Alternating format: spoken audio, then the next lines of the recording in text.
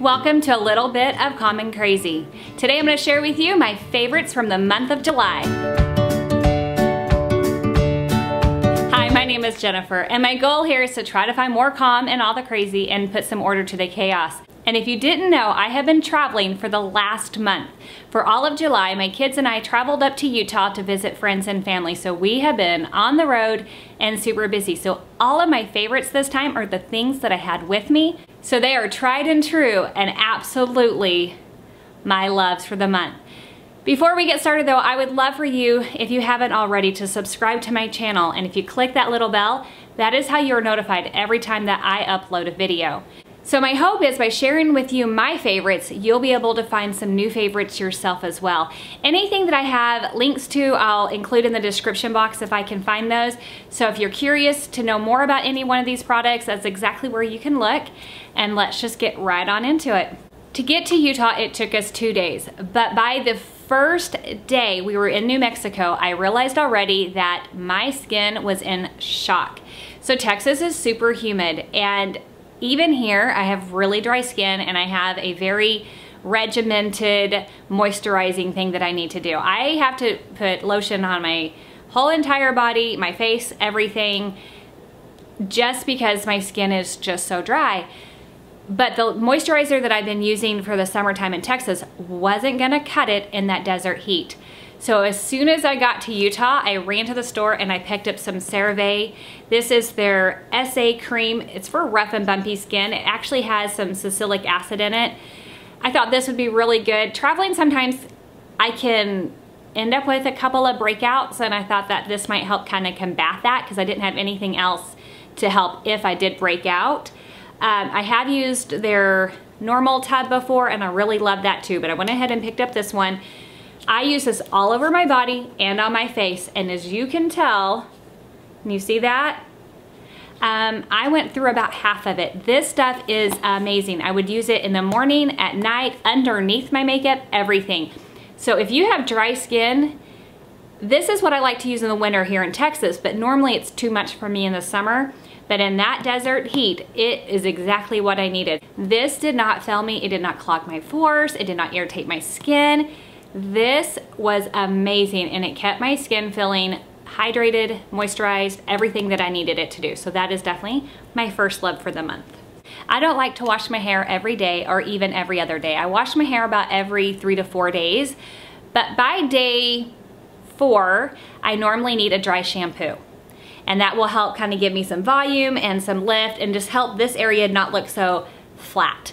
So I picked up this Not Your Mother's Clean Freak dry shampoo. The scent is warm sugar and it says it leaves no residue. I love this. Now if you get really close, I did notice I could get a little bit of that white cast in there, but if you spray just the right amount, lift up, spray, then I didn't have any sort of residue in my hair and it has a nice scent, kind of, I mean you can smell that if you can tolerate it. One day I sprayed this in my hair and one of my nieces is like, what's that smell? And so it's definitely has a scent, so if scents bother you, this would not be the scent to get. Um, but it's nice, it keeps your hair feeling clean. It definitely soaked up any sort of oil that I had. It helped me with my volume.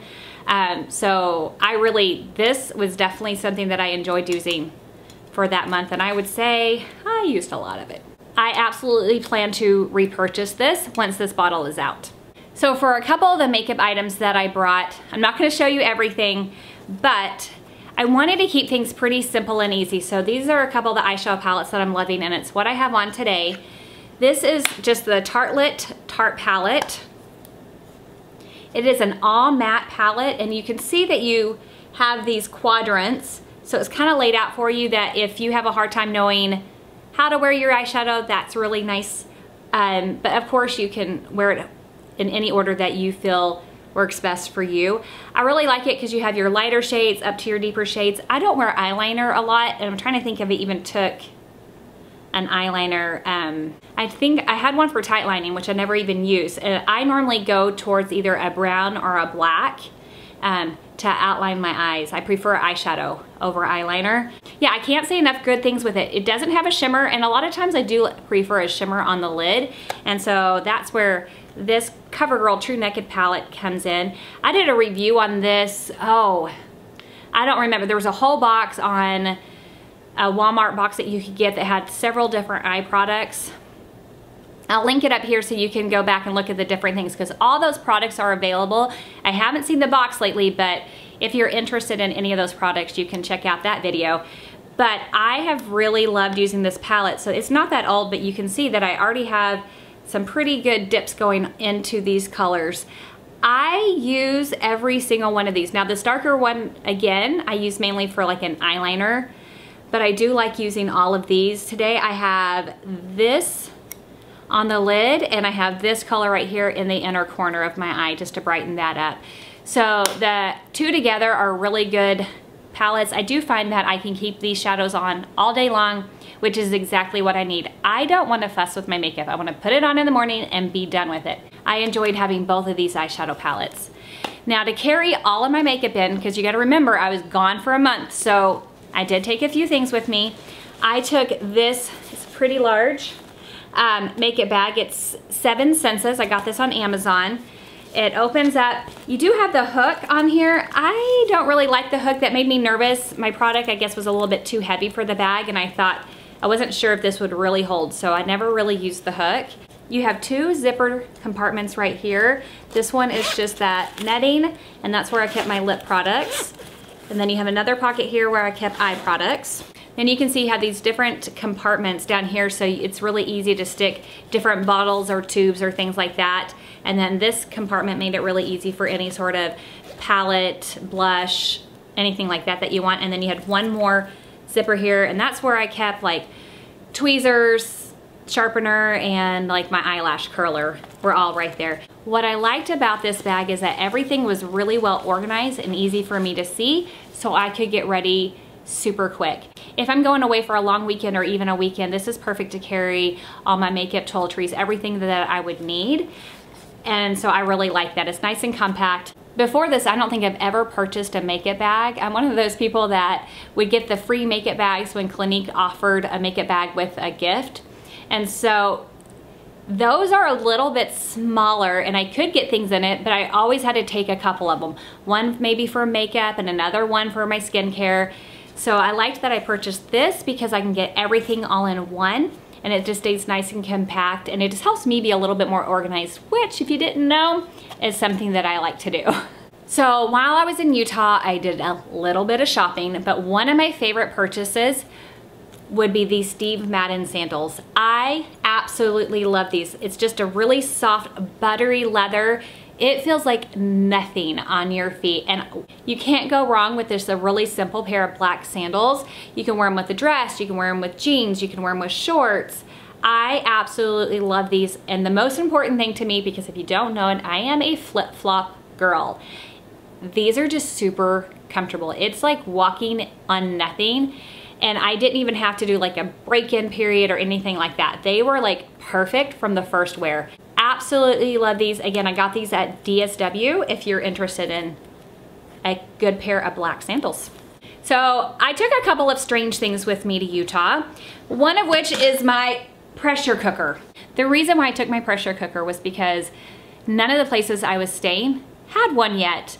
If you like your crock pot and you find it so easy and so convenient and it doesn't heat up your kitchen and all those things that you can think about a crock pot, that's your pressure cooker, but better. So let me tell you, it's just as easy, just as foolproof, but it cooks it faster. So if you find that mornings sometimes are crazy and rushed, and I know I'm like that, especially when school starts, I am trying to get three kids ready in the morning. I homeschool one of them. Mornings are a little bit crazy, but my afternoons before I get kids can kind of die down so I can do some prepping at that point. The nice thing with a pressure cooker, instead of needing your eight to 10 hours to cook your chicken, you can cook frozen chicken in 22 minutes. And it is fork tender shredding, absolutely perfection. Another benefit to having a pressure cooker is that you it's really a one pot wonder. If you're doing something that you need to sear or saute or any of those things, instead of having to do it in a separate pan and then bring it to a crock pot, in the pressure cooker, you can do all that. There's actually a button on here for that. Mine is a Cuisinart, but the one you mainly hear about is an Instapot. And because Instapot is out there and everyone's really aware of it and there's so much information, it is the one that I think most people lean towards and I don't think you could go wrong with an Instapot. I have several friends that's exactly what they have and they're fabulous.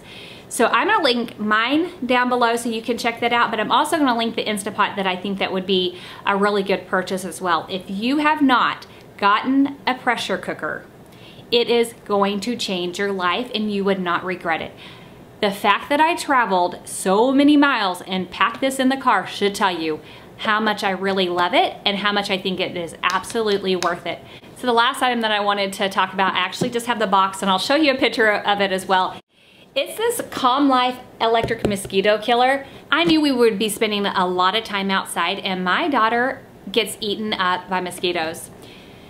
Just, they just love her. But I hate bug spray. Like, I hate bug spray. I hate the smell of bug spray. It gives me a headache. It is one of those things where it just is not my friend and if I can avoid bug spray at any cost, that is what I'm gonna do. This is meant for indoor use, but I got it for outdoor use. That's what I wanted it. What I like about it, it is really sleek, it's clean, it's really easy. You can hook it up. In the picture you can see right here, there's a little cord that hangs down from it that you just pull kind of like a old closet light so you just pull that. It has the purple lighting on it. It is absolutely great. And it does. It kills gnats, moths, mosquitoes. It gets the job done. And for us, that is really important because again, I hate bug spray, but mosquitoes love my daughter and I did not want her to be eaten up when we would be sitting outside. So I'm super excited. I took it with me to Utah. I have it set up now on my back porch. So I'm really excited to have that. And again, Anything I've shown you today, if there are links for it, I will link those for you in the description box so you can look more into it and see if those are things that work for you. The one downside I will tell you about this is that the cord is really short. It's only a couple feet long. So I do wish the cord was longer so that you could hang it up higher. So for us, I went ahead and I just leaned it on the windowsill and it works just fine right there and it gets the job done. So have you had any favorites this summer that you are absolutely loving? I would love to hear those in the description below.